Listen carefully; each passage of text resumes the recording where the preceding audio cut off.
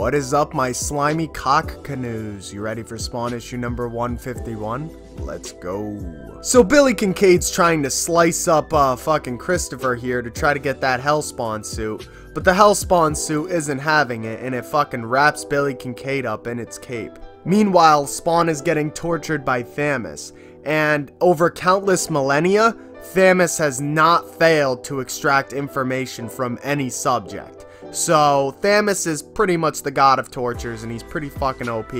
So, Spawn's feeling a lot of pain right now. Thamus then looks inside of the gaping hole in Spawn's chest and notices his wedding ring. So he pulls that shit out. Mammon looks at this ring and he's like, Alan and Wanda forever, how quaint. And then Spawn rips it out of his hand saying, you'll never touch that again. And then he puts it back inside of his body. Then Mammon says, oh, so Al Simmons is buried inside there somewhere.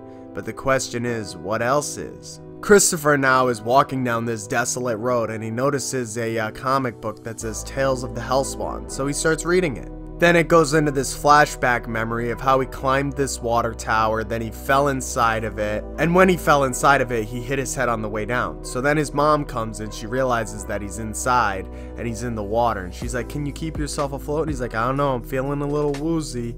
And then she drops in to save him, and she, uh, she holds him up. But now they're stuck in there for hours, for days, and then his mother falls asleep, and then he falls asleep which leads to him going under the water and his mom realizing that she fell asleep. So she picks him up out of the water and realizes that he has died and she screams no.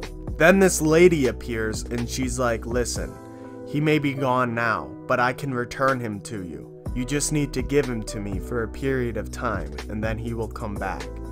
And then she says, Will you give him to me? And then um, Christopher's mom's like, I will. And then Christopher realizes that he died and he starts to like decay.